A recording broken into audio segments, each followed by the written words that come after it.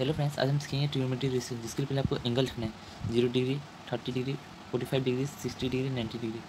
उसके बाद यहाँ से नंबरिंग स्टार्ट करना है, zero, one, two, three, four. ये लिख के फोर से डिवाइड करना है, ज़ीरो। इधर में हो जाएगा वन बाई फोर, इधर वन बाई टू, इधर थ्री बाई फोर, इधर वन। फिर इसका हमने स्क्वायर रूट लिखना है। इसका हो जाएगा वन बाई टू, इसका वन बाई रूट टू, इसका रूट थ्री बाई टू, इसका वन।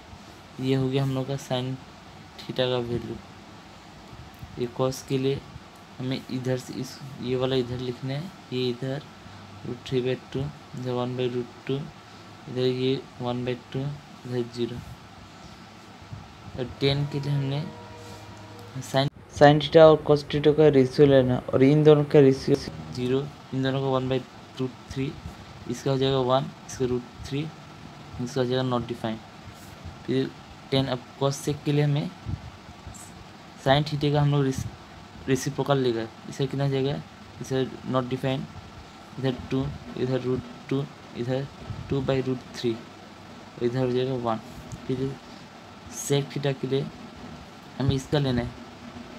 इसका वन हो जाएगा, इधर रूट थ्री होगा, इधर रूट टू इधर टू इधर में कॉट थीटा के लिए। कॉट थीटा इसका रिस्प्रोकल इसे कितना होगा?